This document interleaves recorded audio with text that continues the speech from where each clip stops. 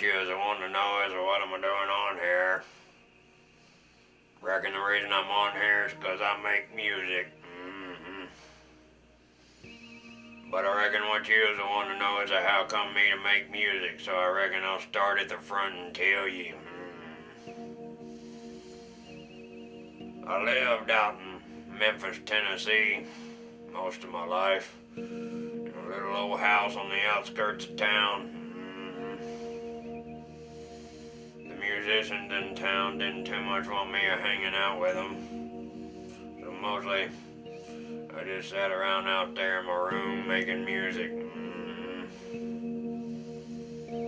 Didn't have no studio out there, but I had me a karaoke machine to record on tape or two to put in there. Mm. Went to Beale Street off and on from time to time, but the bands down there, they were very cruel to me and made quite a bit of sport of me, made fun of me quite a bit. hmm So mostly, I just sat around out there in my room.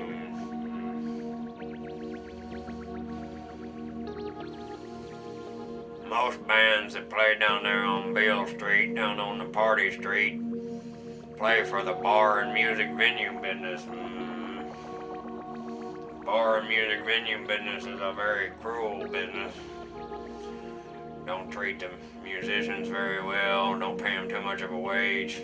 Didn't pay Muck Sticky too much of a wage. hmm Just barely enough to get by on, I reckon but I reckon we got by all right. We used to promote our shows six or eight weeks beforehand, spending lots of money. Usually had three or four hundred people come down and watch us play. hmm So I know we had enough to where the music venues could pay us a hundred dollars or two every time we played. Mhm.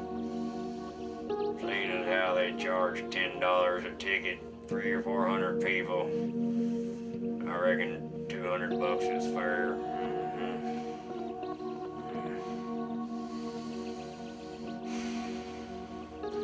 Most of those bands usually go off and get themselves a record contract deal.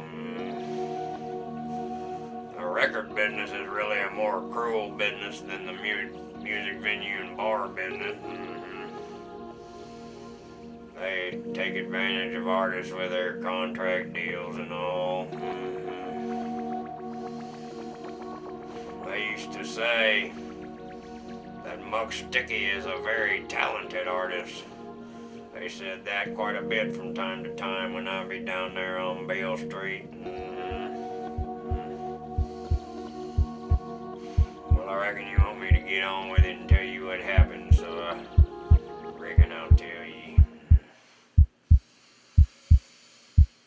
I was sitting out there in my room one evening, not doing too much of nothing, just kindly looking at my phone and waiting on a record to call me and give me a record deal. Mm, mm. Well, I heard a commotion coming from my computer. So I jumped up, run in there, and looked on the screen to see what was going on. And I seen a email in my inbox with a record contract deal I'd been waiting on. Mm, mm, mm. Well, I seen the terms of the contract. They's a having their way with me. Mm. Mm. Well, I just seen red. I picked up a git box that was sitting there by my keyboard. Some folks call it a guitar, I call it a git box. Kind of a long wooden handle, kind of shaped like an axe handle, with a long body on it, shaped kind of like a bowling pin. To the other. Mhm. What the country singers used to sing their songs and whatnot. Mhm. Well, I went in there and I hit record on the karaoke machine. Got me a pretty good song. hmm But I don't reckon that quite satisfied me. So I got me a computer with a good recording program on it and just plumb near cut a whole album. Killed it. Well, them other bands jumped up and started hollering, Would you stay independent for? Would you stay independent for? Well, come to find out, I don't reckon those bands minded what the record business was a doing to them. I reckon that made me madder than what the record business had made me. So I taken the git box. Some folks call it a guitar, I call it a git box.